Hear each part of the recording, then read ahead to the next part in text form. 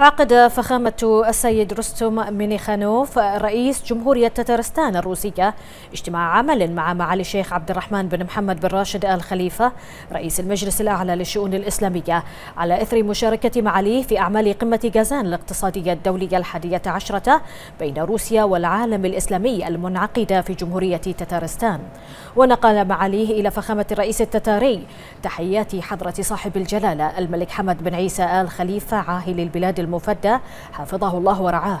وتحيات صاحب السمو الملكي الأمير خليفة بن سلمان آل خليفة رئيس الوزراء الموقر. وتحيات صاحب السمو الملكي الأمير سلمان بن حمد آل خليفة ولي العهد نائب القائد الأعلى النائب الأول لرئيس مجلس الوزراء. وتمنيات القيادة البحرينية لجمهورية تتارستان الصديقة وشعبها الكريم دوام التقدم والنماء والازدهار. وأعرب معاليه عن شكره وتقديره لفخامة الرئيس منخانوف على دعوة مملكة البحرين للمشاركة في أعمال قمة جازان الاقتصادية الدولية بين روسيا والعالم الإسلامي في دورتها الحادية عشرة.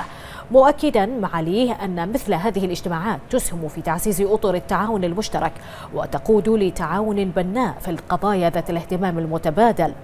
من جانبه حمل فخامة الرئيس رستم من خنوف معالي الشيخ عبد الرحمن بن محمد بن راشد آل خليفة تحياته لصاحب الجلالة الملك المفدى أيده الله ولصاحب السمو الملكي رئيس الوزراء وصاحب السمو الملكي ولي العهد معربا عن تقديره العميق لما لقيه فخامته من حفاوة وكرم ضيافة لدى زيارته الأخيرة إلى مملكة البحرين.